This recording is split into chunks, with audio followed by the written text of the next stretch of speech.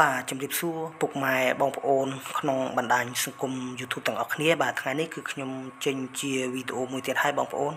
ចង់ចែករំលែកឲ្យបងប្អូនបានយល់ដឹង ពីអត្ថប្រយោជន៍មើមរំដេង បងប្អូនតាមការសិក្សារបស់ខ្ញុំថាមើមរំដេងនេះគឺវាជួយដល់សុខភាពយើងច្រើនមែនទែនប៉ុន្តែបងប្អូនគ្រាន់តែមិនទាន់ដឹងនៅពេលបងប្អូនបានតាមដានវីដេអូរបស់ខ្ញុំហើយបងប្អូននឹងយល់នឹងដឹងហើយថាអត្ថប្រយោជន៍មើមរំដេងនេះវាជួយដល់សុខភាពអ្វីខ្លះអញ្ចឹងគ្រាន់តែមើមរំដេងបងប្អូនណា2 3មើមក៏វាអាចជួយដល់សុខភាពយើងដែរអញ្ចឹងមើមរំដេងនេះគឺវាជួយអ្វីខ្លះតោះអញ្ចឹងបងប្អូនតាមដានជាមួយខ្ញុំទាំងអស់គ្នា បាទបងប្អូន ទី1គឺវាជួយដល់ប្រព័ន្ធរំលាយអាហារជួយបណ្ដេញជាតិពុលនៅក្នុងថ្លើមនៅក្នុងពោះវៀនបងប្អូនណានៅពេលដែលបងប្អូនបរិភោគទឹកម្ដេងក្នុងមួយថ្ងៃគឺ3ដង ទី2គឺវាជួយបងប្អូនឲ្យមានបញ្ហាជំងឺមហារីក បងប្អូនណាជំងឺមហារីកក៏អាចជួយបានដែរមើមរំលាយនេះគឺបងប្អូនមិនពិបាកធ្វើទេបងប្អូនណាពី3មើមគាត់ឲ្យយោវាយវាយឲ្យបងប្អូនយកមកដាំទឹកផឹកជាប្រចាំអញ្ចឹងមើមរំដេងនេះគឺវាជួយដល់សុខភាពយើងច្រើនមែនទែនតែថ្ងៃនេះគឺខ្ញុំនិយាយត្រួសត្រាសទេនិយាយជួយអ្វីខ្លះគឺខ្ញុំនិយាយត្រឹមជួយតែ3មុខទេក៏ប៉ុន្តែមើមរំដេងនេះគឺវាជួយច្រើនមុខបងប្អូនតាមការសិក្សារបស់ខ្ញុំគឺយើងអាចយកមើមអ្វីផ្សេងផ្សេងយកមកគុំចូលគ្នាធ្វើជាឱសថដើម្បីព្យាបាលរោគយើងបានច្រើនគឺ50 60មុខបងប្អូនណាតាមការសិក្សារបស់ខ្ញុំក៏ប៉ុន្តែខ្ញុំចេញវីដេអូថ្ងៃនេះគឺតកតងនឹងមើមរំដេងតែមួយមុខទេគឺអាចជួយបងប្អូនណាបញ្ហារោគរបស់បងប្អូនដល់ទៅ3មុខអញ្ចឹងទី1បងប្អូនបញ្ហាដូចខ្ញុំនិយាយខាងដើមអញ្ចឹងគឺជួយបណ្ដេញជាតិពុលនៅក្នុងថ្លើម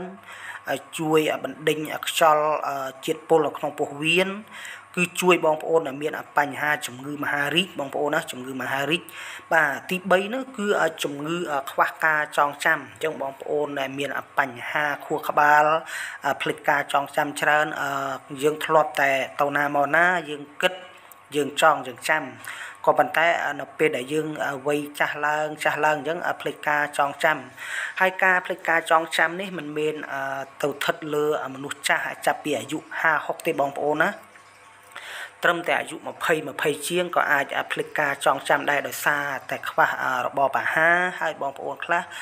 ចូលចិត្តទទួលទទួលទានគ្រឿងស្រវឹងច្រើនអីហ្នឹងក៏អាចធ្វើឲ្យយើងមានបញ្ហាចុះសោយប្រព័ន្ធខួរក្បាលដែរបងប្អូនណាផ្លិចការចងចាំ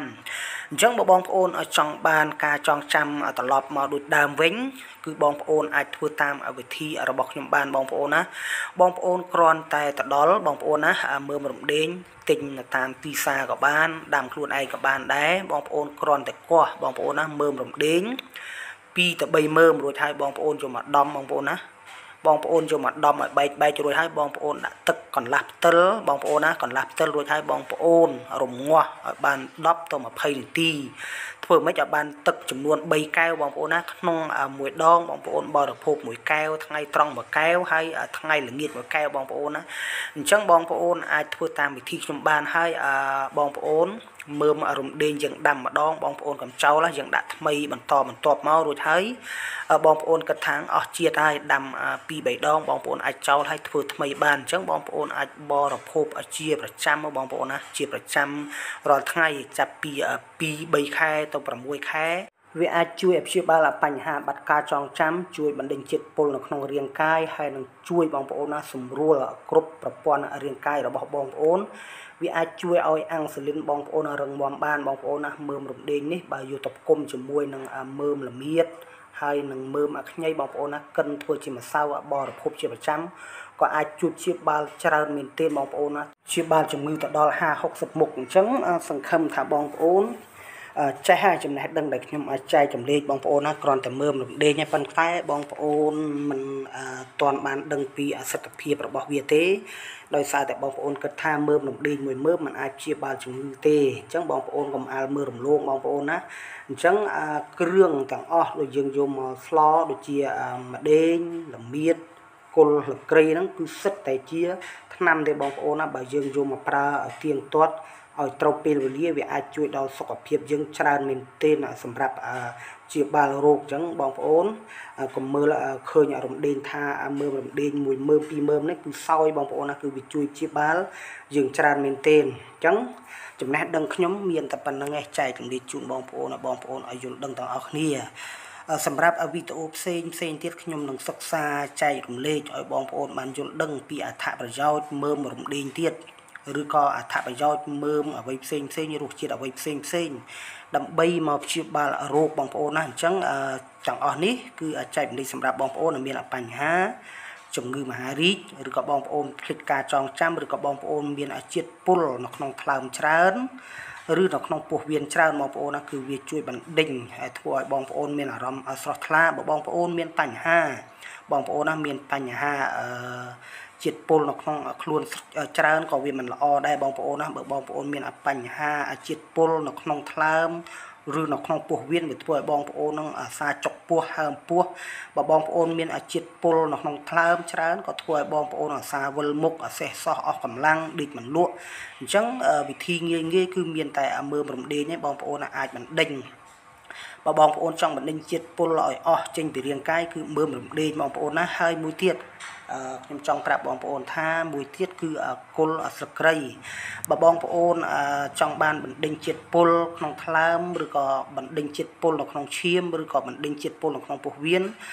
គុលស្លឹកគ្រៃក៏អាចជួយបានដែរបងប្អូនណាបើបងប្អូនមានម្ដេញឬក៏មានគុលស្លឹកគ្រៃដាក់លាយគ្នាកាន់តែល្អដាំទៅបងប្អូនណាដាំហូបជាប្រចាំលក្ខណៈដូចជាទឹកតែបងប្អូនអត់ពិបាកផឹកទេគឺឆ្ងាញ់ណាស់បងប្អូនណាអញ្ចឹងបងប្អូនអាចសាកតាមវិធីរបស់ខ្ញុំបានបងប្អូនសាកអស់ត្រឹមតែ3ទៅ4ថ្ងៃបងប្អូននឹងដឹងបងប្អូនដែលមានជាតិពុលនៅក្នុងថ្លើមនៅក្នុងពោះវៀនបងប្អូនសាកត្រឹមអស់តែ3 4កសៀបងប្អូននឹងដឹងថាអារម្មណ៍របស់បងប្អូននឹងស្រស់ថ្លាហើយសម្រាប់ចែកចម្លែកគឺខ្ញុំមានតែប៉ុណ្្នឹងទេហ្នឹងហើយជាចុងក្រោយខ្ញុំអត់មានពាក្យអ្វីនិយាយច្រើនទេ វីដេអូរបស់ខ្ញុំតកតងនឹងសុខភាពគឺមានច្រើនហើយហើយខ្ញុំក៏រ៉ាយរ៉ាប់ឲ្យបងប្អូនបានយល់ដឹង គឺខ្ញុំសិក្សាឃើញប៉ុណ្ណាគឺខ្ញុំចេញវីដេអូចែករំលែកជូនបងប្អូនប៉ុណ្ណឹងហ្នឹងហើយអឺបងប្អូនដែលថ្មីថ្មីដែលមិនបានចុច Subscribe សូមបងប្អូនចុច Subscribe ហើយនឹងចុចសញ្ញាកណ្ដឹងនឹងបានទទួលវីដេអូថ្មីថ្មីសម្រាប់ខ្ញុំដែលខ្ញុំចង់ប្រាប់ហើយនឹងចង់ចែករំលែកឲ្យបងប្អូនចុច Subscribe នេះដើម្បីនៅពេលដែលខ្ញុំ upload វីដេអូចេញទៅវាធ្វើឲ្យបងប្អូននឹងមិនបាច់ហត់ស្វែងរក channel របស់ខ្ញុំបងប្អូនគ្រាន់តែចុច subscribe និងចុចសញ្ញាកណ្ដឹងនៅពេលដែលខ្ញុំ upload វីដេអូថ្មីថ្មីទៅគឺ load នៅក្នុងវីដេអូឬក៏ load នៅក្នុងទូរស័ព្ទរបស់បងប្អូននៅក្នុង channel YouTube របស់បងប្អូនបងប្អូនគ្រាន់តែចូលហើយចុចមើលគឺបានឃើញភ្លាមភ្លាមចំណេះដឹងតកតងនឹងសុខភាពបងប្អូនណានឹងជូនពរឲ្យបងប្អូនសុខភាពល្អទាំងអស់គ្នាជួបខ្ញុំនៅវីដេអូក្រោយបន្តទៀតកន្លឹះថ្មីថ្មីតកតងនឹងសុខភាព សូមបងប្អូនរងចាំវីដេអូក្រោយៗបន្តទៀតខ្ញុំនឹងចែករំលែកហើយខ្ញុំនឹងសិក្សាស្រាវជ្រាវដើម្បីចែករំលែកឲ្យបងប្អូនឲ្យយល់ដឹងទាំងអស់គ្នាតកតងនឹងសុខភាពបាទនឹងចាំជួបខ្ញុំវីដេអូក្រោយបន្តទៀតបាទ